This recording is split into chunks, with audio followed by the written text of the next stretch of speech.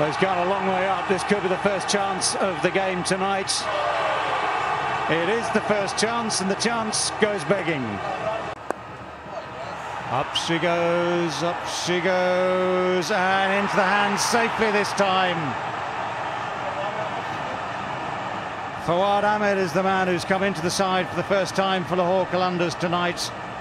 Takes the first catch as well. We saw the one go down early in the over. This one very, very safely taken. Yeah, if anybody thought that this is the last of the group games, doesn't really have a lot on online, just have a look at this.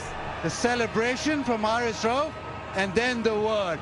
He dropped a catch, so there you go. And then you know, Shaheen Shah Afridi, the kick. These fast bowlers are always on. It's a